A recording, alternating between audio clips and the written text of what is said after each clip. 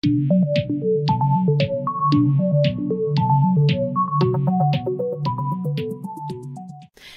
there, and thank you for joining me for another day of 100 Days of Kubernetes. For those who are new to my channel, my name is Anais, and this is the challenge where we aim to learn something new related to Kubernetes across 100 days, and me sharing with you here right on my YouTube channel.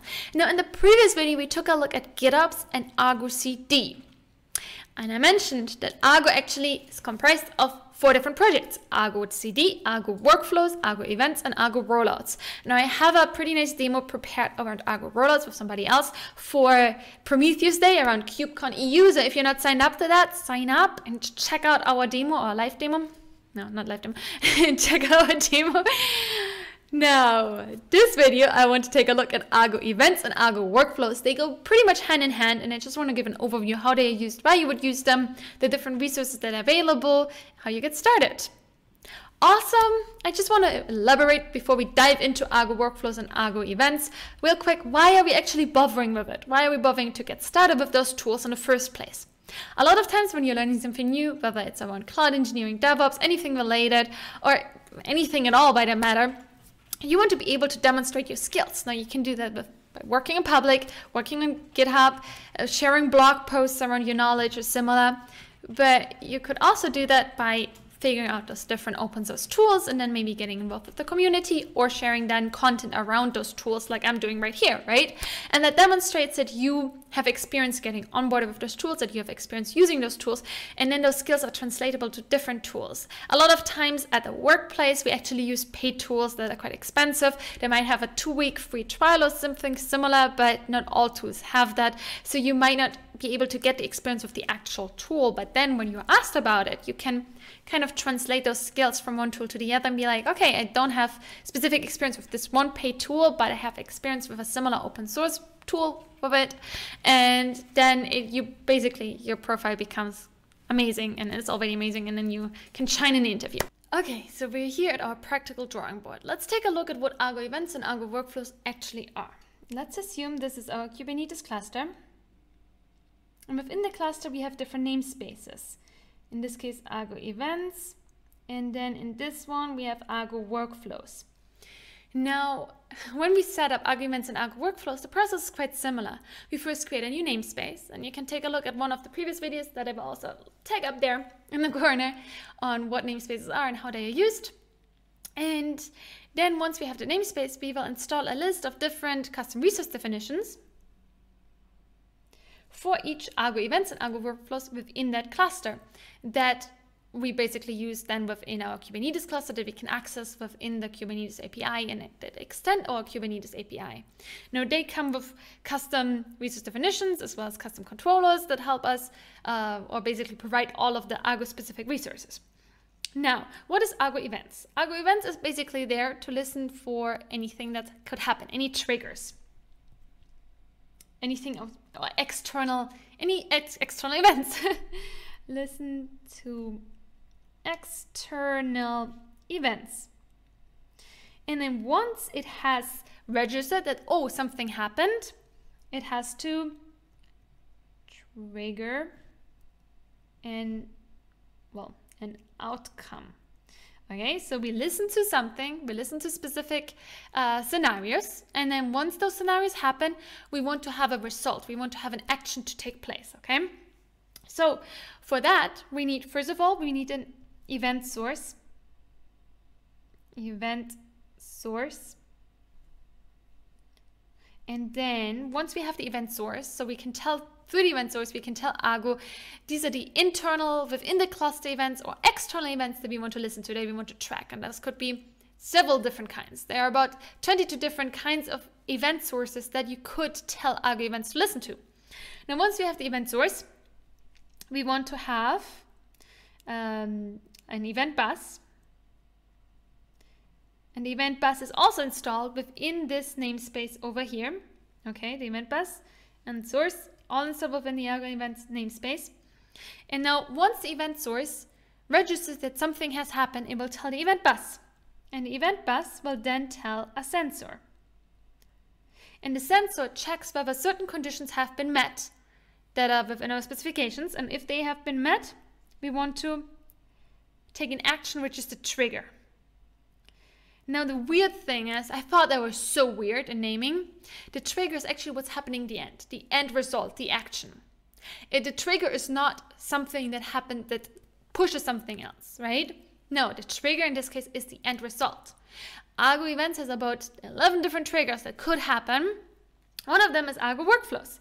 So the trigger is basically a workflow that runs. Now, what is an Argo workflow? An Argo workflow is also installed through custom resource definitions. We install all the list in our cluster through commands. We will go through how to install that. And then we have basically a YAML file that defines our workflow. Okay? Workflow. Argo workflow. And that has, for example, different steps. Step 1, step 1.1, step 2, step 3, step 3.1, and so on. Now, Argo events allows us to specify, first of all, the container images that each step should run. For example, these two should run within this container image. Then step two and three should run within this one. And then we have here, for example, another one. Or we have for each step actually separate container images. That could also be the case, right? So in this case, we can specify the different container images that we want to run our actions in or anything, any, any commands in any, anything basically that we can put into a container image we can run within a workflow. And so once the processes within those container images have finished, the container will be spun down and the process has finished and we can see in our cluster, okay, this container has finished, it's done, bye, okay? So this is ultimately what an Argo workflow does. It's just step-by-step process. And we can specify how are the what are the different relations between those steps. Can we run them in parallel? Should they run after each other? Is one dependent on the other, and so on. And there are different examples that we can also see in the documentation on how those are run. And this is ultimately what it does. So the installation process of all Argo tools are quite similar. We're first going ahead and go to the documentation. So this is the Argo events documentation. And this is the quick start guide of the Argo workflows documentation. And for Argo events to work or for Argo events to use Argo workflows, we first need Argo workflows installed. And I'm hoping this is going to work this time because the last time that did not work. So I'm right now here on my Google Kubernetes cluster, Google Cloud cluster and I have no nothing installed, just the default stuff. kubectl get all, just showing you everything. There's nothing really running. It's just fresh, completely fresh cluster, which is great. So then I'm going to create an Argo namespace for Argo workflows, I think. It's not Argo events, it's Argo workflows. So we're just going to create a namespace and we're just following really the instructions here. So we're just gonna go ahead and copy all of that, installing all of the resources. Now this is gonna install those custom resource definitions we talked about a second ago, okay? So this is gonna install everything. Just gonna wait for it to finish. It might look overwhelming, but it's not that bad. So now this is done. What do we do next? We don't, oh, we might need this because we are on Google Cloud actually. Let's try without and see if it, everything is working. If it's not working, then we can still refer back to this command and figure out how to make it work. okay, let's get kubectl get all in namespace argo. Maybe I should zoom a bit in. Okay, we're just waiting for everything here to run, all of the pods. We want them to work before we're gonna move on to the next step. Okay, let's just wait if it's working or if it's not working. There might be crash loop backoffs. Okay, there's another crash loop backoff. Okay. Let's see if this is gonna work. I'm just gonna fast forward for until this has finished. It should all spin up. Okay, everything seems to be running and fine now. Now we can go ahead and we can port forward and see if that's working. Okay, so let's open up localhost two seven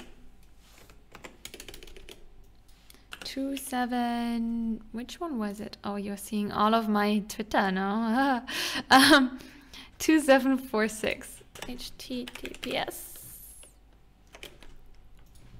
and then let's do this.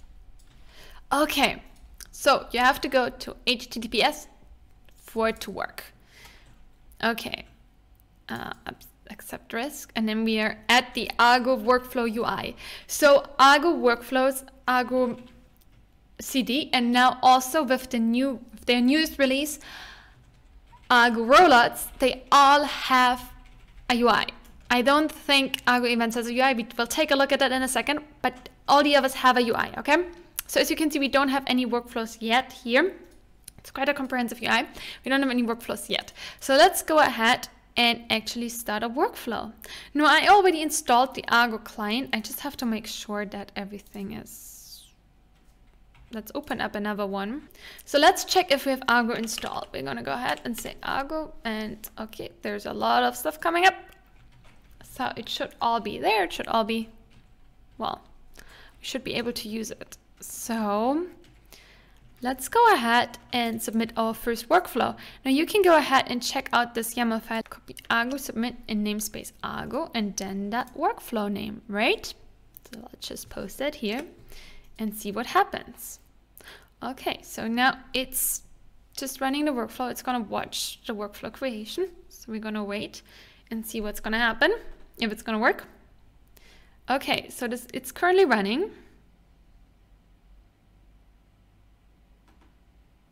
Container creation. Let's see if the container that runs this workflow is actually gonna work, it's actually gonna run and complete. Let's see. Here we go. Awesome, this worked. So this part did not work for me on Azure, on Kind cluster, on my Docker desktop cluster. Now, right now, I'm on my Google Cloud cluster and it worked, which makes me really happy um, because it didn't work before. And it basically, it's something with how they set up the access to Docker in this case, I believe. Now, here's several different commands so we can list our current workflows and we can get a list of workflows. Let's see what those commands do. So list workflows. Okay, this is our latest workflow. Here we have a status message. Awesome. And then we go ahead and we can also check the logs of our latest workflow. And here we have our little whale saying hello. Now we could modify our YAML file and let the whale say something else, right? So this is just basically a container with some arguments, like with a process and some arguments that runs, and you can't see it, that runs. And that's all it does, right? So, and then once it's finished, it just exits that, right? And we can see the logs of the container through the, through the client, through the Argo client really neat. So it's just a step of processes. Now you can have, when you go over to Argo Workflows, let's go to operations manual. Let's find the, they have several different examples. Okay, so let's take a look at the step section. So let's just go ahead and copy that. And so what I've done, I've just copied, pasted what was defined in the documentation right here into a YAML file. So as you can see, we have here our different steps. We have here the first step, which says hello one, and then we have our second step, to A and to B, which execute in parallel, because here's just here two dashes and here's just one dash. So those two go in parallel. So when you specify these YAML files with your workflows, you have to be really precise. That's like one of the downsides. Then you really have to take care of like, okay, do you specify the dash? How do you specify the dash? Right? So we have here those different steps and those steps they refer to the same template. So we have here our template defined whalesay. And the template name is here down here. This is the template and this is what these steps refer to. So they all provide into the same container. They run all the same container and provide into that container the same input message. So when we go into parameters, then we go into message. As you can see, it's nicely highlighted. And we have the message defined, the value of the message that we want to pass in. And we can go ahead and we can run this steps.yaml. Does that work? Okay, so that's gonna run it. Okay, so as you can see, we're just running hello one whalesay, right? And uh, let's see if this is gonna run through and then, okay, it ran through and now, as you can see here in parallel, it's executing both hello 2a and hello 2b. And we can just follow here in the client, it executing, but we could also go ahead and open the UI and as you can see we have here I don't know which one is it this one. What's gonna happen? Let's see. Okay, so as you can see, we have here nicely visualized the different steps. So we have hello 1 and then hello 2b and hello 2a. And similar, so those execute in parallel after hello 1 executed. And then we can also specify different templates that we can then reuse for different workflows because obviously we don't want to duplicate our different workflows. We want to reuse the templates over time. So you could specify your different templates here. And there's a lot of different cool stuff that you can do. So this is just a steps example, as you can see. Now there's also a DAG example where you basically have different dependencies. So direct acyclic graph, you have just different dependencies between those different steps. So as you can see, these two, so we have here step name A and then step name B is dependent on step name A. And same with C. And then D is dependent on B and C to have finished executing. And that's how you can specify different dependencies between those, between you, within your workflow, between those different containers executing. Now there are lots and lots of different examples that you can go through and try out and plug and play it together. It's really straightforward, really. Now, I sadly didn't get Argo events to work and connect to Argo workflows. I went through it several times. I hope you have an idea still of how those different tools are used, how you would make use of them. and Argo workflows itself is really amazing. Just connecting it with Argo events is a bit of a step at the stone kind of situation, I guess. so I hope this is getting better in the future, but uh, maybe I did something wrong if you spotted something or like if you have any suggestions or if you want to write a blog post on how you set up Argo events and Argo workflows, I think I could use that a lot. So let me know. Anyway, I hope to see you in one of my future videos. Have a lovely day. Bye bye.